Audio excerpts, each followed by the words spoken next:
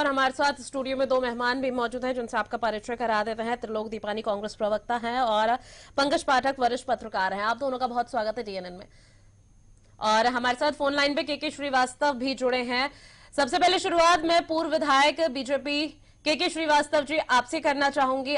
सबसे आज विधानसभा की कार्यवाही शुरू हुई। आज उस बजट सत्र का आगाज़ हुआ और अब 26 मार्च, यानी कि 10 दिन के लिए स्थगित भी कर दी गई है, जिसमें कोरोना का हवाला दिया गया। क्या कुछ कहना है आपका? मेरा कहना है ये जो आज की कार्रवाई हुई है स्पीकर जी ने ये निश्चित रूप से लोकतंत्र की हत्या करने जैसा एक कदम उठाया है। मुख्यमंत्री महामहिम राज्यपाल के आदेश की एक तरफ़ अवहेलना करते हैं उनको कहा गया कि आपकी सरकार अल्पमत में आ गई लिख करके माननीय महामहिम ने उनको कहा कि आप 16 तारीख को फ्लोर टेस्ट माने विश्वास मत हासिल करें। और ये सरकार को निर्देशित कर सकते हैं माननीय राज्यपाल। स्पीकर का केवल काम वहाँ कार्य सूची जो बनती है सरकार की तरफ़ से विधानसभा के अंदर, उसको संचालन करना होता है नियम प्रक्रियाओं के अंतर्गत। सरकार सूची बनाती है और उस पर स्पीकर काम करता है, संचालन करता है, नियम प्रक्रिया के आधार पर सदन चलाना होता है।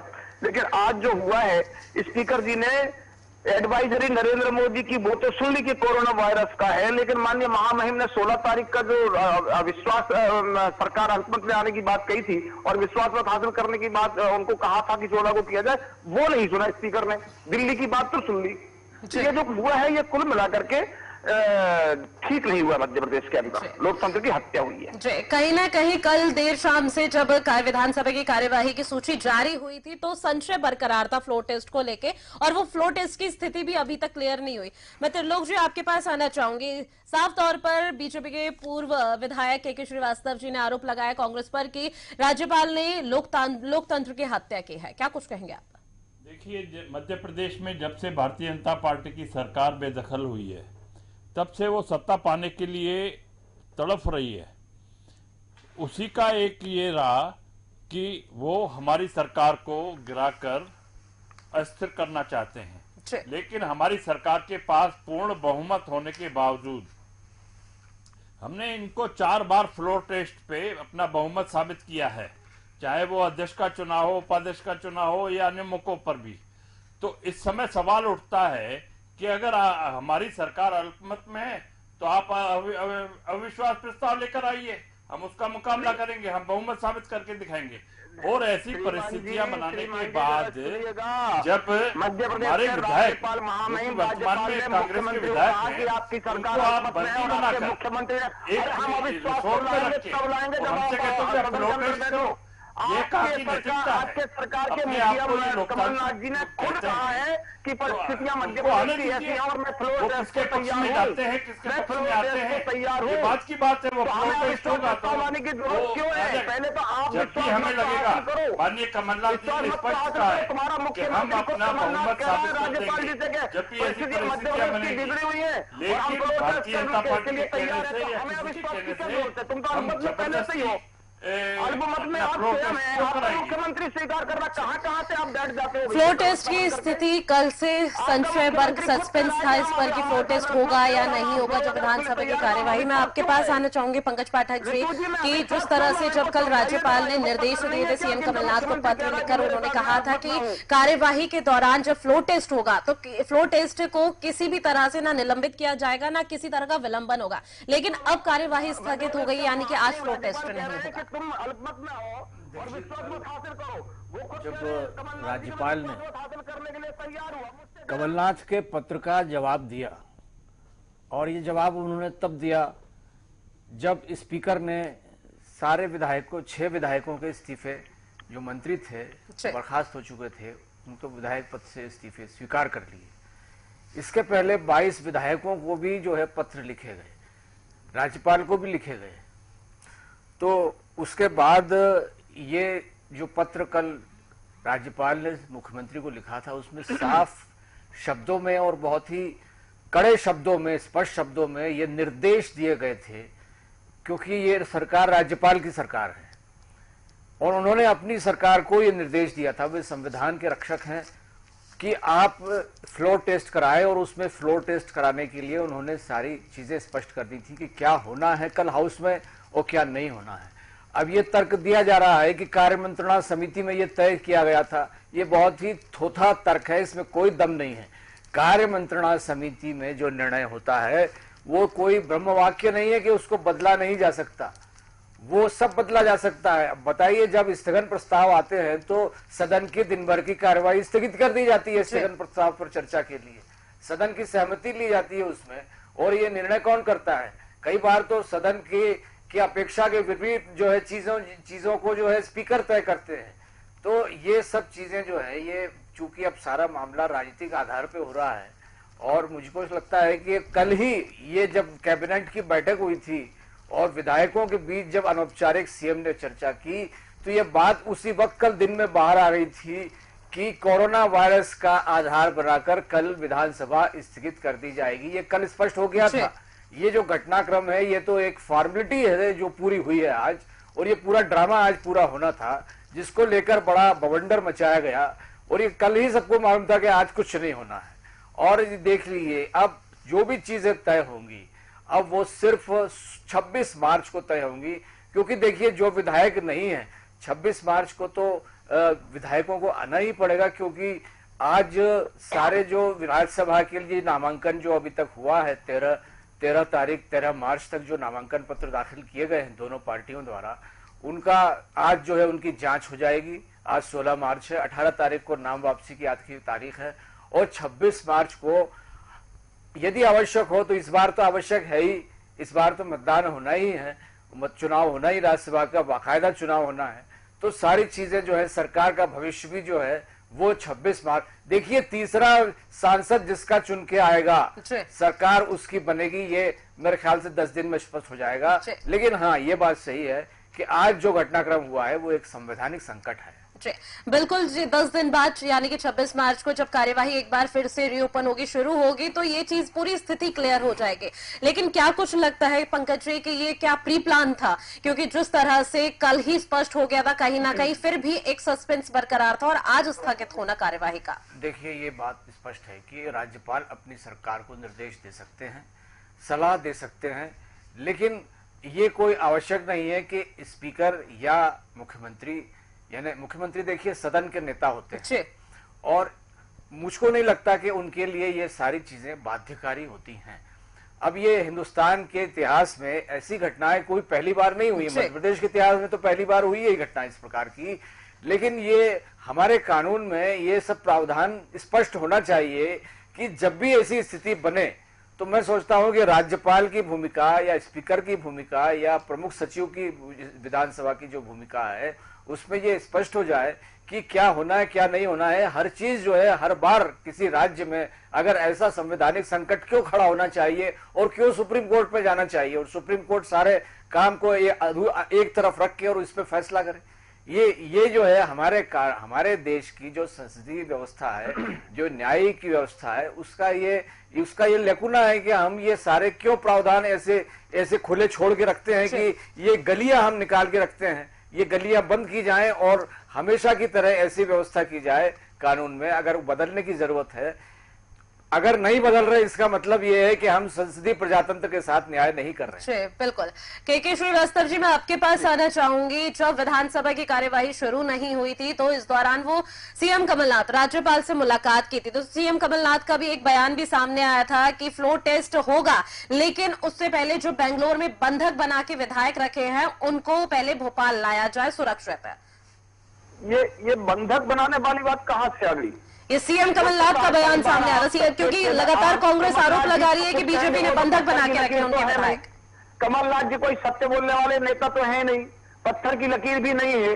वो बंधक कह रहे हैं वो खुल करके कह रहे हैं सभी टीवी न्यूज़ चैनल पर कि हम अपनी मर्ज़ी से आए हैं 22 लोग थे ये ये आप सोचिए ना 22 लोगों के एक साथ इस्तीफे पहुँचे हैं विधानसभा अध्यक्ष के पास और माननीय राज्यपाल जी के पास। उनमें से छह को स्वीकार कर लेना बारह सोलह को क्यों नहीं करना?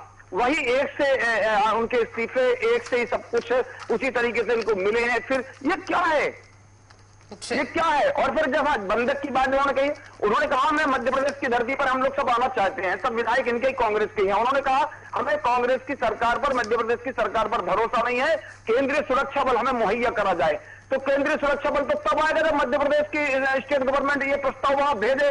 होम सेक्रेटरी यहाँ का वहाँ केंद्र सरकार से मांग करे केंद्र सरकार अपना अ, सुरक्षा बल देंगे पैरामिलिट्री फोर्सेस वहाँ से उपलब्ध कराएँगे। लेकिन ये प्रस्ताव भेजे तो ये चाह ही नहीं रहे कि वो यहाँ आ पाए। के के श्रीवास्तव जी अभी भी विधानसभा के अंदर जो बीजेपी विधायक है वो डेरा जमा कर बैठे हुए हैं। लगातार मांग कर रहे हैं फ्लो टेस्ट को लेकर और भी कई चर्चाएँ कर रहे हैं। तो क्या कुछ लगता है अब आगे बीजेपी क्या करेगी? छलावा जो हुआ है मध्य प्रदेश की सवा सात करोड़ जनता के साथ सदन के साथ लोगों के साथ कि ये अचानक से और कोरोना का बहाना बना करके जो अभी हमारे माननीय पत्रकार जी बैठे हैं उन्होंने जो कहा वो स्पष्ट कहा बहुत बड़ी बड़ी संजीदगी के साथ उन्होंने कहा कि ये तो कल से ही स्पष्ट लग रहा था। तो मुझे लगता है कि ये जो घटनाक्रम है ये संसदीय परंपराओं में बड़ा कलंक है काला धब्बा है और यह संवैधानिक संकट मध्य प्रदेश में स्पीकर जी ने कांग्रेस ने तैयार किया हुआ है। और अब भारतीय जनता पार्टी अपना मंथन करने के बाद माननीय राज्यपाल महोदय कोर्ट और जहाँ भी लगेगा हम इनको ऐसे ही अल्पमत की सरकार चलाने नहीं देंगे इसका परिणाम इनको भुगतना पड़ेगा। त्रिलोक जी आपका क्या कुछ कहना है? बीजेपी लगातार हमलावर है। बीजेपी का साफ़ तौर पर कहना है कि ये प्री प्लान था सोची समझी साजिश थी जो आज देखने को मिली। देखिए आप ये बताइए मेरे साथी बोल रहे हैं कि वो बंधक नहीं है। बंधक नहीं है तो आप उनको यहाँ पर भोपाल क्यों नहीं लेके आते? सदन में उपस्थित क्यों नहीं करते? उनके 16 लोगों के इस्तीफे हमने स्वीकार नहीं नहीं किए आपके सोलह लोग आज की कांग्रेस के विधायक हैं। अगर तो उनको हम बंधक नहीं बनाया गया है वो यहाँ पर आए वो और हमारे विधानसभा के अध्यक्ष के सामने करा। अपना इस्तीफा तो। करें। इस्तीफा चल देना रही मध्य प्रदेश के तो अंदर उसका तुमने स्वीकार जो किया जो जाएगा। इंडिया के ऊपर वो प्रभाव नहीं किया चाहते तुम्हारा भरोसा नहीं हम तुम्हारा कांग्रेस को तो छोड़ें। भारतीय जनता पार्टी के लोग वहाँ पर के के श्रीवास्तव जी पहले आपका आपको पूरा पूरा समय दिया गया था। एक बार त्रिलोक जी की भी बात सुन ली जाए उसके बाद आपके पास मैं दोबारा आऊँगी चर्चा को आगे बढ़ाने के लिए। के के श्रीवास्तव जी। नहीं सुनिए पूरी बात। होने दीजिए मेरी। आज बेंगलोर के अंदर अरविंद भदौरिया जी इनके प्रदेश के नेता उमाशंकर गुप्ता पूर्व गृह मंत्री वहाँ पर बैठे हुए हैं और भी लोग बैठे हुए हैं। अगर वो बंधक नहीं बनाए हुए और दूसरा के के श्रीवास्तव जी बोलते हैं कि उनको सुरक्षा। कल हमारे माननीय गृह मंत्री ने स्पष्ट ये बयान निकाल दिया कि जो भी विधायक ये तो कांग्रेस के हैं जो भी विधायक सीआरपीएफ की सुरक्षा चाहेगा उसको मिलेगी और हम पूरी सुरक्षा देने के लिए तैयार हैं। तो उस परिस्थिति के बाद भी ज़बरदस्ती उनको वहाँ पर रोके रखना ये कौन सी नैतिकता है? ये तो आप समझ लीजिए जब से सत्ता से ये भारतीय जनता पार्टी गई है तो ये मछली की तरह से तड़प रहे हैं। कि किस प्रकार से कांग्रेस की सरकार गिराई जाए और दूसरी ओर जब मैं इनसे जानना चाहूँगा कि अगर ये सुरक्षित थे तो इनके भी भारतीय जनता पार्टी के विधायक गुड़गांव क्यों भेजे गए? उनके मोबाइल क्यों रखे गए? आज का आठ से दस विधायक भारतीय जनता पार्टी के कांग्रेस को सपोर्ट करने के लिए तैयार हैं कांग्रेस के पक्ष में मतदान करने के लिए तैयार हैं। क्यों उनके ये मोबाइल छीन लेते हैं? तो अपनी अपनी ओर तो देखते नहीं है दूसरे की ओर उंगली उठाते हैं। हमने बार बार अपना बहुमत साबित किया है जब भी ये हमारे विधायक यहाँ पर आ जाएँगे और हम जो अपना सदन के अंदर अपना बहुमत साबित कर देंगे। दूसरी ओर जो हमारे पाठक जी ने कहा कि अगर गवर्नर लिखता भी है तो उसके ऊपर सदन विचार करता है। जब सदन में आई बात वो उसके ऊपर विचार नहीं हुआ उनके ये बाध्यकारी नहीं है सदन और विधानसभा अध्यक्ष कि जो वो कहेंगे उसको ही किया जाए। तो उस प्रकार से इस समय जो कांग्रेस की अपना बहुमत है उसके पास है और सरकार पूर्ण रूप से बहुमत में है स्थिर है। इसको भारतीय जनता पार्टी जो इन्होंने घपले घोटाले किए हैं दूसरे जो माफिया इनके राज्य में पनपे हैं उनका भ्रष्टाचार का पैसा लेकर कांग्रेस के विधायकों को खरीदना चाहते हैं लेकिन कांग्रेस के विधायक? अपने स्थान पर मजबूती से है कांग्रेस? जी बिल्कुल त्रिलोक जी के के श्रीवास्तव जी लगातार कांग्रेस आरोप आप पर भी मर रही है कि अगर उन्हें बंधक बना के रखा गया है तो वो सामने बंधक बनाकर नहीं रखा गया तो वो सामने क्यों नहीं आकर अब बोलते हैं? क्यों वीडियो जारी किया जाता है उनका? आप सुनिए ऋतु जी। अब वो बंधक नहीं है ये बिल्कुल तय है ठीक है? उन्होंने खुद कहा है वीडियो जारी करके और उन्होंने ये भी कहा कि हम आ रहे हैं। लेकिन हमें मध्य प्रदेश की पुलिस पर भरोसा नहीं है मध्य प्रदेश की सरकार पर भरोसा नहीं है। हमें केंद्रीय सुरक्षा उपलब्ध कराई जाए। अब ये किसको करानी है केंद्रीय सुरक्षा? कौन देगा? के के श्रीवास्तव जी लेकिन कांग्रेस ने यह भी आरोप लगाया है जिसमें जब कल वीडियो जा परसों वीडियो जारी हुआ था तो वीडियो में इमरती देवी को पहले पढ़ाया लिखाया गया उसके बाद उन्होंने बयान दिया। मैडम आप सुनिए ना कि मैंने कहा कि केंद्रीय सुरक्षा कौन देगा उनको? इसका जवाब दीजिए उनसे मैं यहाँ आपका जवाब नहीं दूँगी मैं आपसे सवाल पूछूँगी। आप फ़िलहाल ये बताइए जब वीडियो जारी हुआ था तो कांग्रेस ने आप पर आरोप लगाया था कि इमरती देवी या बाकी विधायकों को पहले लिखा पढ़ी की गई है उसके बाद उनके वीडियो रिकॉर्ड किए गए हैं। आप जवाब दे नहीं हो हमारे प्रति लेकिन जो मिस्टर वो कांग्रेस की तरफ़ से बैठे हैं वो तो जवाब दे सकते हैं कि केंद्रीय सुरक्षा किसको उपलब्ध करानी है किस आधार पर किसकी सुरक्षा के तहत वो विधायक यहाँ आएँगे। क्या कुछ कहना है त्रिलोक जी आपका? माननीय श्रीवास्तव जी को ये जानकारी होना चाहिए कि कल ही हमारे मध्य प्रदेश के गृह मंत्री बाला बच्चन जी ने ये कहा कि जो भी विधायक वो तो हमारे कांग्रेस के विधायक हैं जो। भी विधायक सीआरपीएफ की सुरक्षा चाहते हैं के के श्रीवास्तव जी आपको पूरा पूरा समय दिया गया था बोलने के लिए। एक बार त्रिलोक जी की बात सुन ली जाए लेकिन जब तक वो भोपाल नहीं आ जाते तो हम बेंगलोर में जाकर तो उनको सीआरपीएफ की सुविधा उपलब्ध नहीं कराएँगे। यहाँ पर आए उनको पूर्ण सुविधा मिलेगी और पूर्ण सुरक्षा मिलेगी।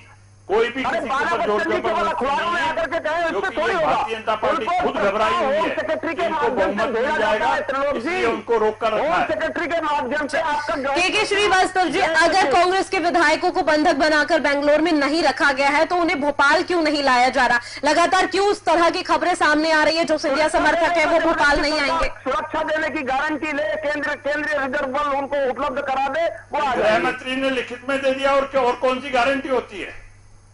नहीं नहीं गृह मंत्री कुछ नहीं होता लिखने के के के जी मैं आपको यहाँ रोकना चाहूँगी त्रिलोक जी मैं आप ही के पास आना चाहूँगी। खबरें ये भी आ रही है कि पूर्व सीएम शिवराज सिंह चौहान ने सुप्रीम कोर्ट में याचिका दायर की है फ्लोर टेस्ट की मांग को लेकर। अब बात मैंने जैसे पहले भी कहा ये भारतीय जनता पार्टी किसी भी प्रकार से मध्य प्रदेश के अंदर बहुमत की कांग्रेस की कमलनाथ की सरकार को गिराना चाहते हैं।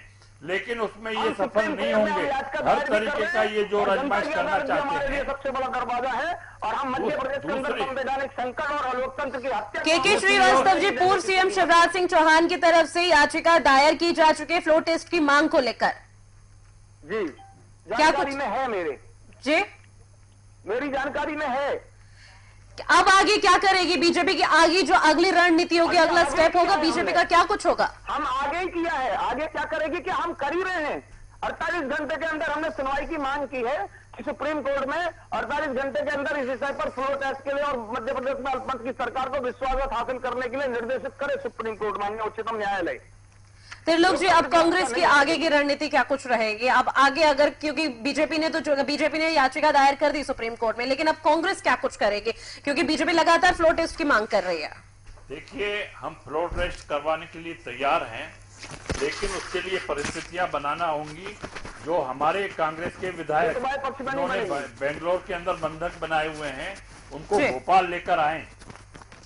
अगर जो भी उसमें इस्तीफा देना चाहता है माननीय हमारे विधानसभा अध्यक्ष के पास जाकर इस्तीफा दे तो हम उसको मानेंगे कि इस्तीफा दिया है। लेकिन किसी का आप देखोगे जिन लोगों के भी सोलह लोगों के इस्तीफे लिखे गए हैं एक ही भाषा एक ही लोग नहीं गए और ये दूसरा एक इस्तीफे कैसे मंजूर एक ये कहा जाता वीडियो भी जारी हुआ तो उसमें सभी की भाषा सेम ही थी कि कमलनाथ सरकार से खतरा है। एक और कहा जाता है लोगों के आप सुप- कि इस्तीफे मंजूर कर उसके सकते अंदर जो हस्ताक्षर किए जाते हैं वो काली पेन से नहीं होते।